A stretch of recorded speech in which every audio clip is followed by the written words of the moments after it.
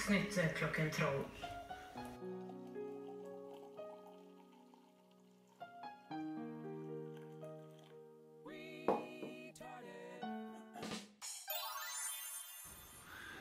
Ja, riktig god uh, onsdag.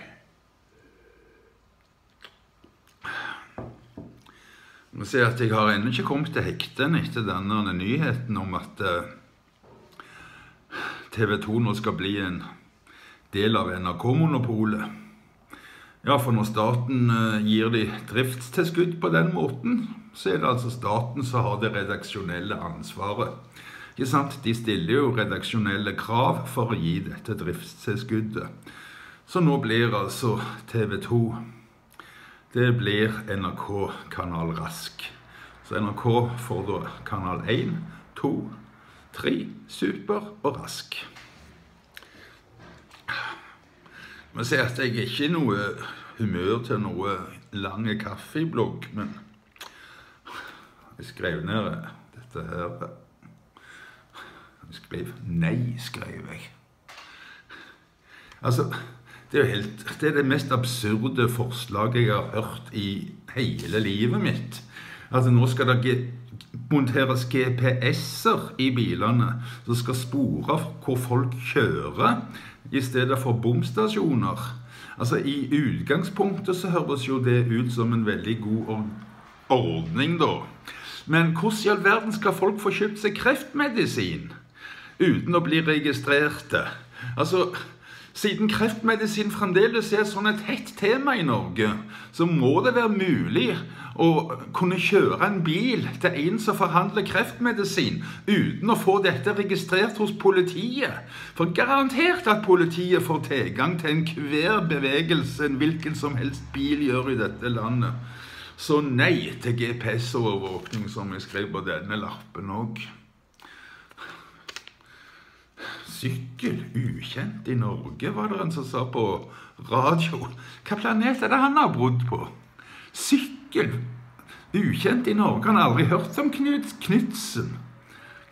Eller i nyere tid. Du har jo han der kommentatoren på NRK Sporten da. Han òg er jo egentlig en ganske stor stjerne, da. Og så har du Dag Egge Pedersen, altså. Og så har du Hushovd. Aldri hørt om Hushovd. I tillegg til de store stjernene vi har i dag. Så det er det mest dumme jeg har hørt. At sykkel liksom skulle være ukjent i Norge. Men nå er det jo veldig bra at uh, folk har satt i gang med kronerulling, så kanskje det går bra. Vi må se hva det står på denne. Ja, Provoserende å ønske en svak krone, ja, det syns jeg det er skikkelig provoserende når jeg hører på nyhetene, og de ønsker seg en svak krone. Har ikke vi hatt det vondt lenge nok, da?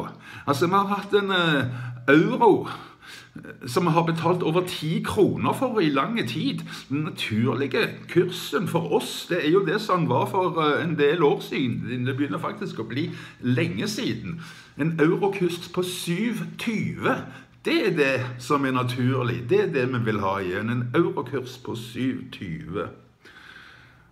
Vet du dette? Jeg kommer liksom ikke helt over dette her med staten, altså, som nå skal overta driften av TV 2.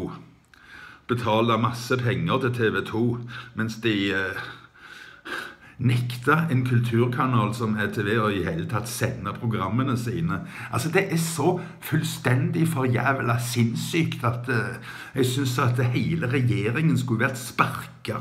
Altså, det der er mistillit Altså, og så sier de at det skal øke mediemangfoldet. Altså, TV 2 er ikke noe mediemangfoldsbedrift. Det er ETV var det. Vi var en kulturkanal. I går var jeg hos Santi. Han skjønte hvor deppa jeg var, så jeg fikk denne flasken her av han. Hvor mange barer pleier du for hele spritflasker hos Du ser, jeg har jo ikke åpna den ennå, da, for Men eh, ja. Takk, Santi. Den, eh, det var en god tanke. Jeg syns det er helt for jævlig. Jeg syns det er helt for jævlig. Luften er for alle. Ikke minst for kunstnere. Som f.eks. Tone Trall og uh, John uh, Jacobsen, som uh, under Stavanger Spekulum i uh, 1991 hadde to fantastiske utstillinger. Dette er Josefsen sin utstilling 'Installasjonskunst' ut forbi Rogaland Kunstnersenter på Nytorget. Den heter 'La den som føler seg uten skyld, vaske sine hender først'. En veldig sterk installasjon.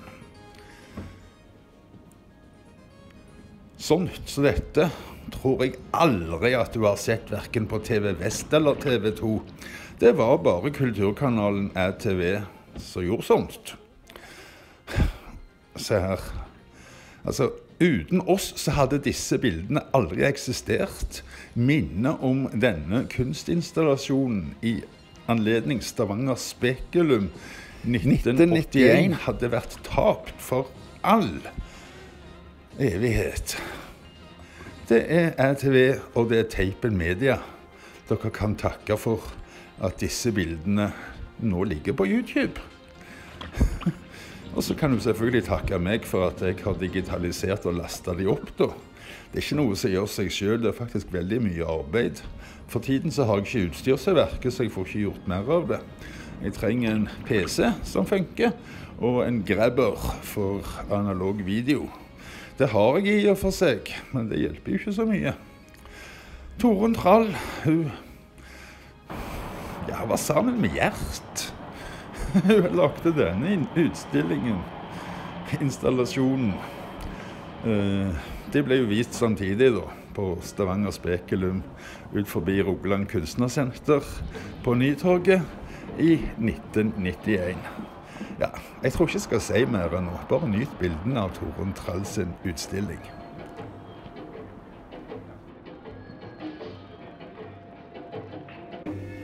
Ja, jeg, får, vel, jeg, må vel nesten si det at det er Stavanger Spekulum 1991. Denne sendingen er fra Stavanger Spekulum Eksil i 1992. Mens bildene av denne utstillingen, altså denne utstillingen som disse bildene viser, det var i 1991. Så er vel den oppklaringen foretatt. Mange har lurt på det på nettet.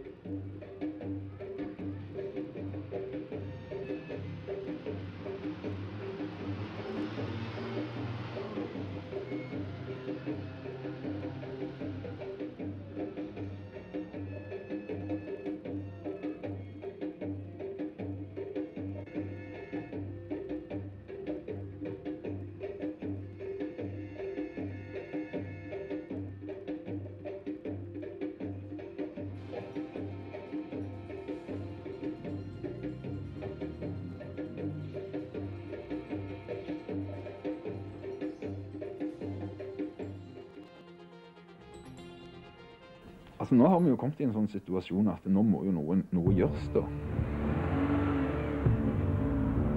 Hvis vi ikke får konsesjonen vår ganske fort nå, så er det jo ikke noe annet å gjøre enn å begynne med piratvirksomhet igjen. Et godt sted ligger høyt og har utsikt til mange potensielle seere. Hvis eh vi står overfor mobilt, eh, en mobil sender. Da har vi jo et lite problem, da. Og, da kan det bli aktuelt, vil jeg tippe på, i ekstreme tilfeller, å tilkalle forsterkninger. Det var jo sånn de jobba under krigen òg, for å finne disse her eh, sabotørene. Like så viktig som uh, plasseringen høyde det vel egentlig òg å Hadde du ikke gjøre noe? Ja, kan jeg få kjøre forbi Gisperstua eller Kristiansand Deg? Det som fremgår denne kringkastingsloven, det er bøte eller fengsel inntil seks måneder for overtredelse av denne loven. Det ideelle sendestedet det har mange fluktveier og ligger høyt oppe. Det jeg tenkte vi skulle kjøre nå, det har ikke det, så det er sikkert redusert.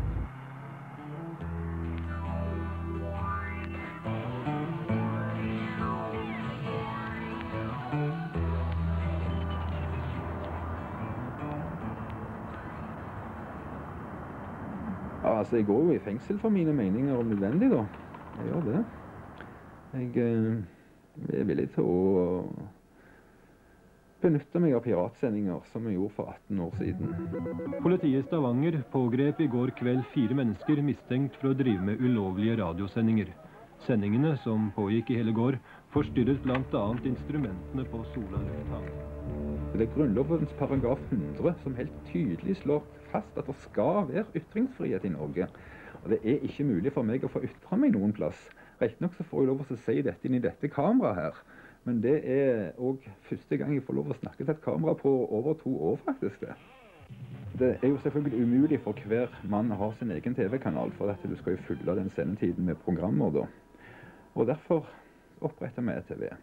Alle som kom til ETV med programmer, de fikk disse programmene sendte. Omtrent etter modell fra amerikansk Access-TV. God ettermiddag. Her er lørdagens nyheter. 100 beltevogner.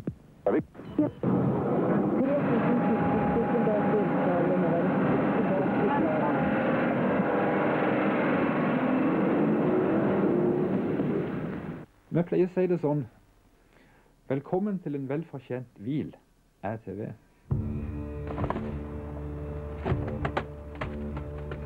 Da er det veldig greit for folk som gjerne bare lager et program i uken, eller kanskje de har laget et program i året, å kunne gå en plass og få sendt det programmet uten selv å måtte søke konsesjon. Eh, Evangeliesenteret tror jeg sevner TV veldig mye. De har eh, gitt skriftlig uttalelse for at vi faktisk har redda en del liv gjennom våre sendinger. Det er jo deres programmer vi har sendt, da, men eh, uten ETV så hadde de aldri blitt sendt. Og folk som da har eh, tenkt å begå selvmord, har da ved to anledninger, sier de, ombestemt seg etter å ha sett programmene på ETV.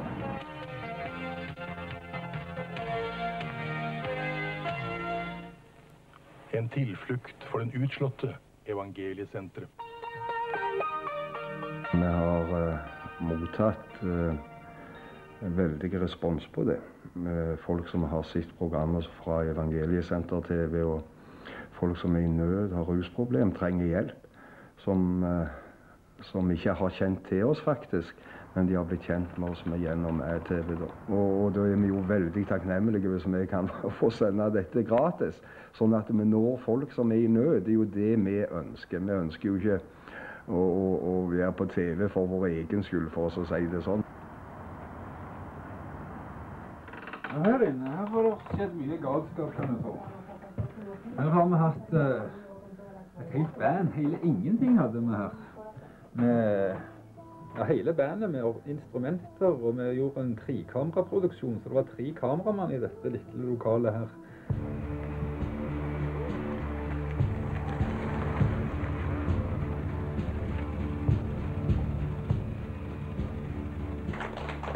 Tusen takk for vakre ord fra Arild, og ønsker de velkommen tilbake med en senere anledning. Det er en belastning. At eh, min seriøsitet skal bli redusert pga. at jeg sender programmer som andre har lagd. Pga. at jeg velger å sende programmer for det om eh, vi velger en annen kvalitetsstandard enn det NRK gjør.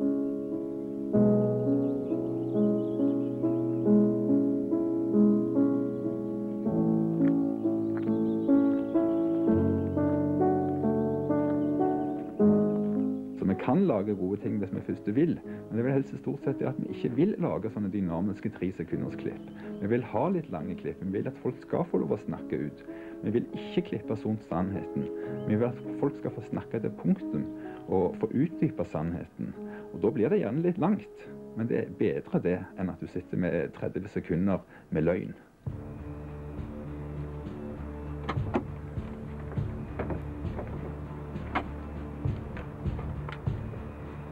Vi søkte jo konsesjon umiddelbart etter at vi ble fratatt den gamle. Og vi har purra noen ganger. Sist gang for over ett år siden. Jeg har ringt en del ganger. Det kommer aldri noe svar fra Statens medieforvaltning. Så de trenerer saken og nekter eh, å besvare telefonen.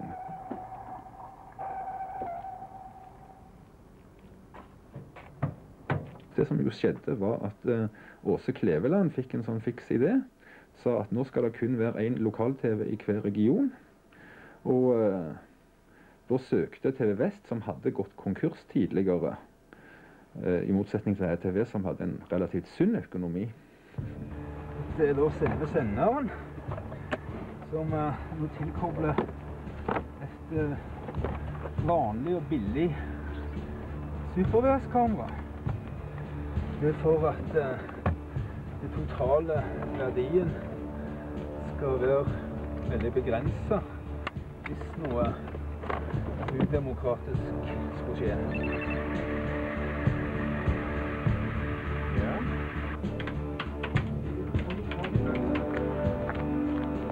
Hvis eh, plutselig TV Vest begynte å stille seg åpen til å motta innslag fra absolutt alle, at til og med jeg kunne komme der med en teip og få den sendt, så tror jeg nok at interessen min for å drive og kjempe mot monopolene ville være veldig redusert.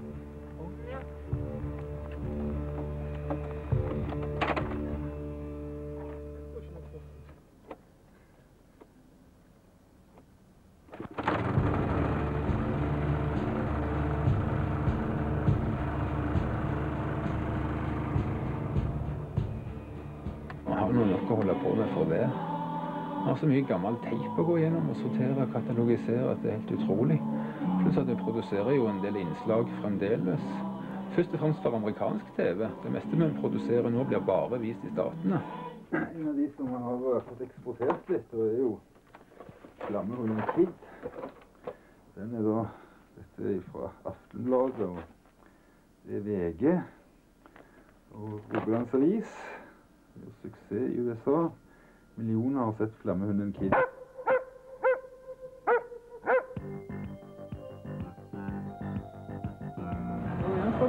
Slå på. Slå på strømmen på videospilleren. Og slå på strømmen på senderen.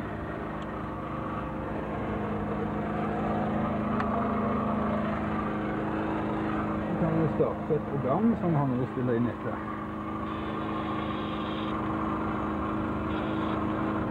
Det var NRK. Nei, det var TV 2.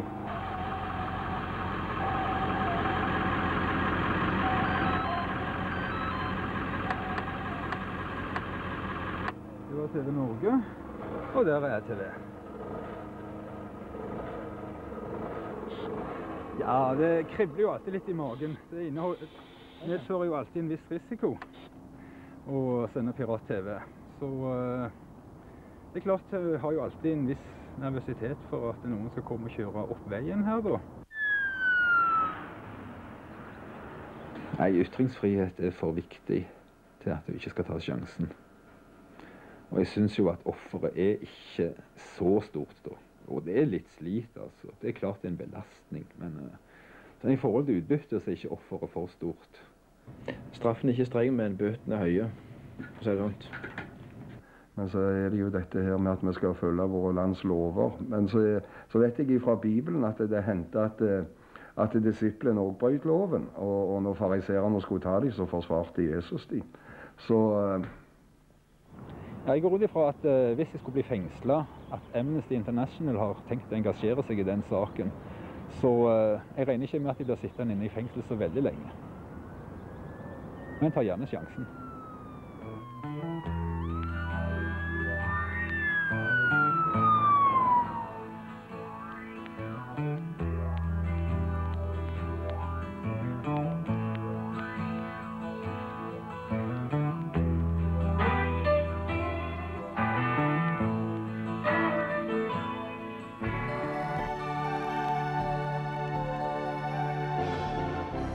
Don't have any art, you're pretty much lost.